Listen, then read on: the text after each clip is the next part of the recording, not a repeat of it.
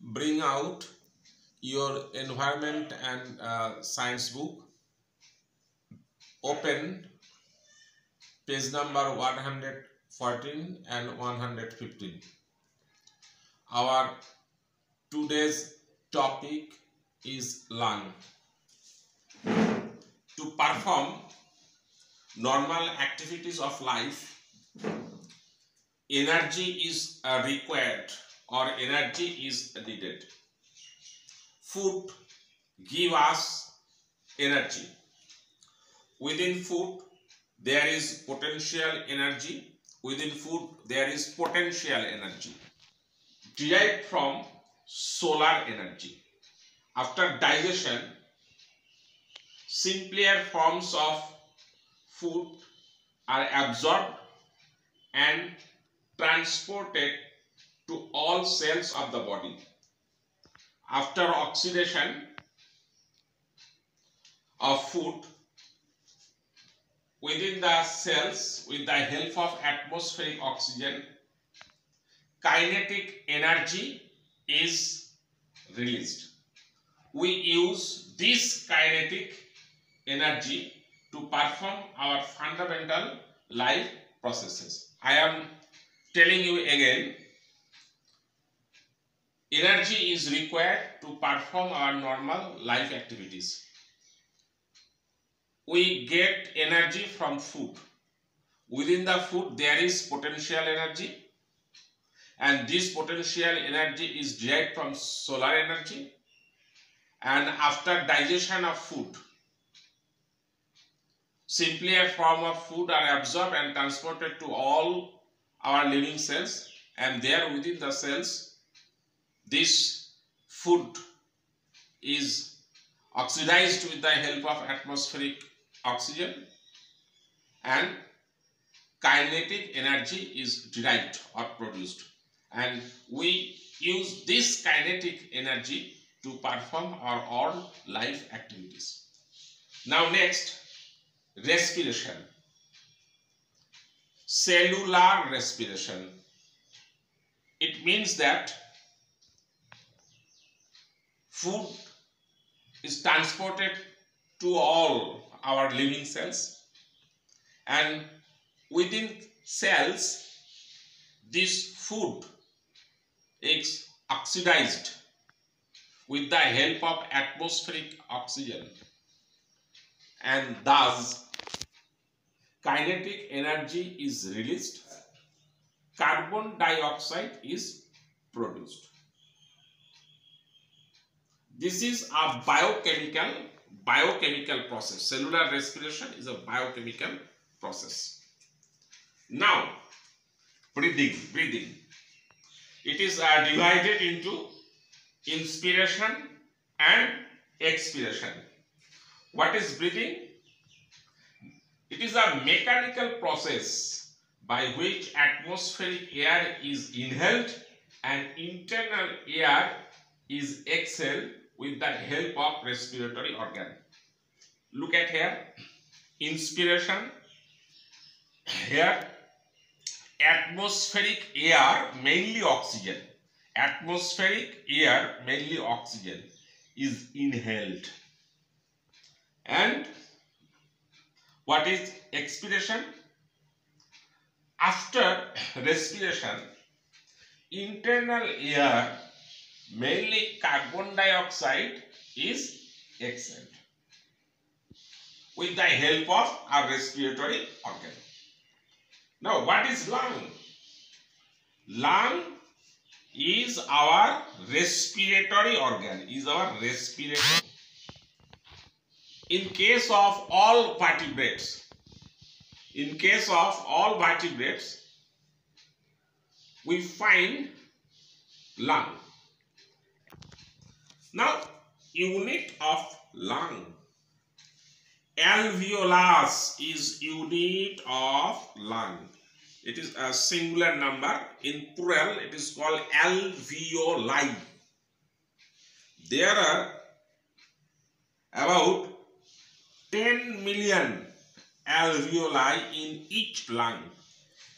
In case of infant, lung is blackish pink. Lung is full of tubes that carry blood. So it looks like blackish pink. But in case of adult, lung is darker in color. Why?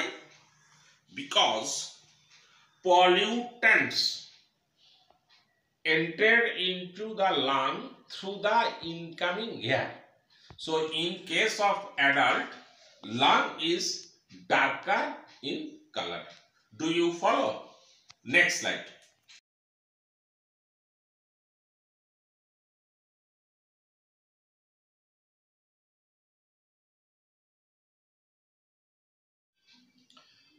What does the inside of a lung look like? Now look at the board. What does the inside of a lung look like? Here, this is trachea, the main res respiratory tube. This trachea divides into two branches called primary bronchus. This is left primary bronchus and this is right primary bronchus. Left primary bronchus enters into the left lung and right primary bronchus enters into the right lung. After entering into the left lung, left primary bronchus and after entering into the right lung, right primary bronchus divides into numerous branches and sub branches like secondary uh, bronchus are seen here. There are also tertiary bronchus not seen in this uh, picture. Each of the sub branches is called bronchiole. Here is a bronchiole. Look here. Terminal end of bronchiole bronchiole a alveolar sac is produced alveolar sac. And alveolar sac holds numerous alveoli each of which is called alveolus this alveolus looks red in color because each alveolus is uh, provided with blood vessels and there are about approximately 100 million alveolus in each lung. So this is about what does the inside of a, lung look like. Next slide please. What does a lung do? Look at the board. What does a lung do? Number one, lung takes air inside the body. This is actually inspiration. Second, extract O2 means oxygen from incoming air. That means lung takes air from atmosphere inside the body and then extract oxygen from incoming air. Third, mix oxygen with blood. Means this incoming air contains oxygen and lung extract extract this oxygen and mix this oxygen with blood as you know lung or unit of lung that is alveolus is provided with blood vessels. Lung extract CO2 means carbon dioxide from the blood. Because after mixing oxygen with blood, blood transports oxygen to every living cells. And their oxidation takes place with the help of this oxygen. And carbon dioxide is uh, produced. And this carbon dioxide comes in comes in contact with the lung through the blood and then lung extract carbon dioxide from the blood. Lung expels this carbon dioxide to the outside. We try to understand the pathway of air passing. Atmospheric air enters into the nostril and through the nostril atmospheric air enters into the nasal cavity nasal cavity. And from nasal cavity air enters into pharynx. From pharynx air passes to larynx and then larynx from larynx air enters into trachea. From trachea air enters into the lung and then at alveolus.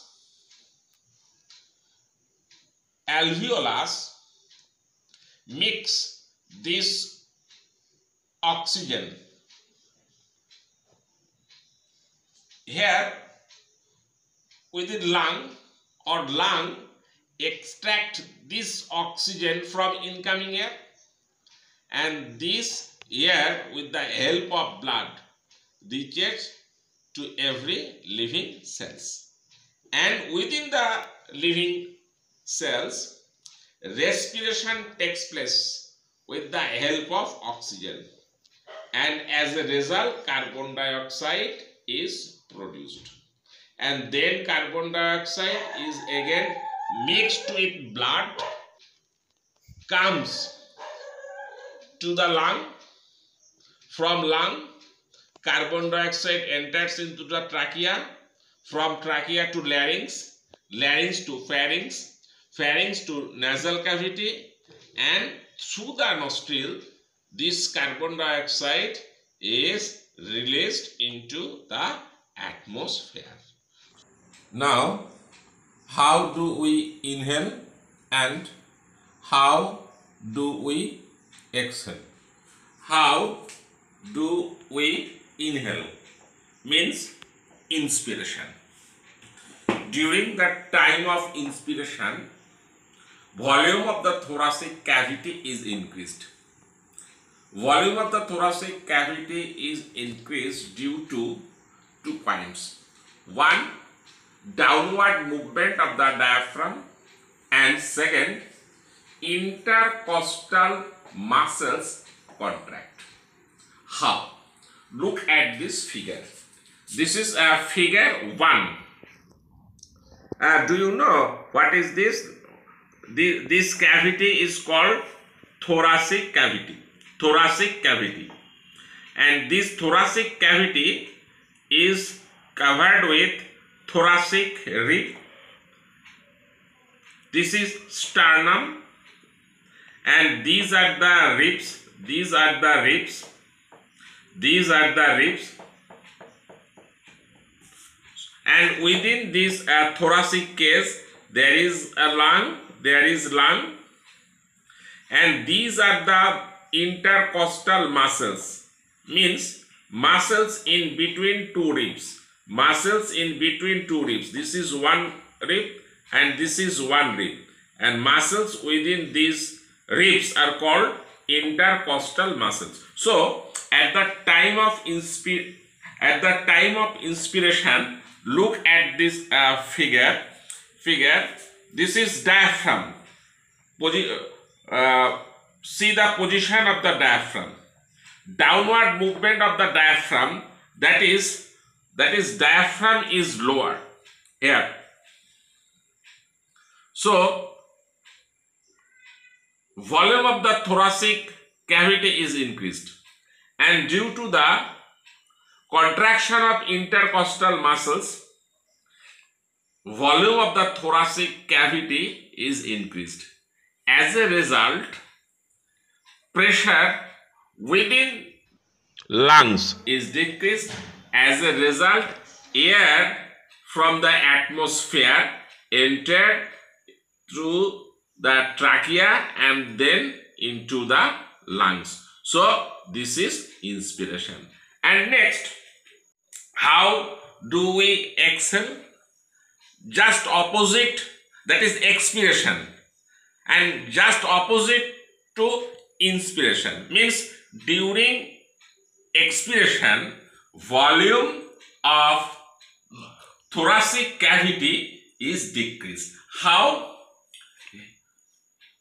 Here here downward movement of the diaphragm now upward movement of the diaphragm. See here upward movement of the diaphragm.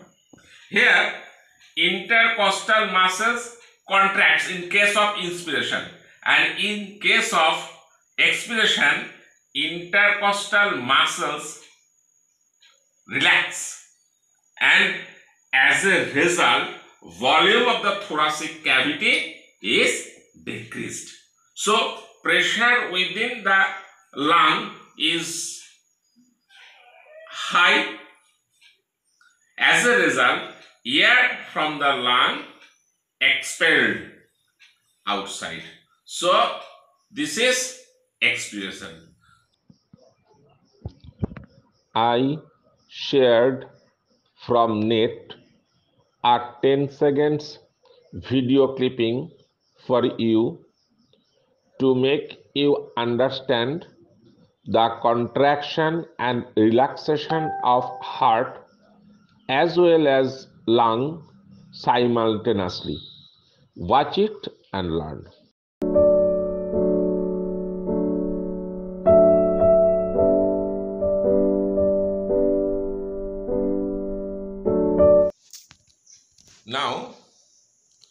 Problems of the lungs. Problems of the lung. That is, there are some disorders related respiration. Those are asthma. This is also a type of lung disease. COPD, full form chronic obstructive pulmonary disease. COPD is also a type of severe lung disease and asbestosis and silicosis. These are also two lung disease. So, these are various types of lungs diseases. Now, symptoms of problems means symptoms of these type of lung diseases. There, number one, coughing. Number two, shortness of breath. That is breathing problem, severe breathing breathing uh, problem. Third, nostrils are flared while breathing uh, in case of infant. Number four, nose blocked completely. Number five, spit blood while coughing. This is a very severe symptom of lung disease. Then number six, cough continuously. And number seven, runny nose. So we have completed all about uh, lungs. Uh, thank you. Stay at home and stay safe.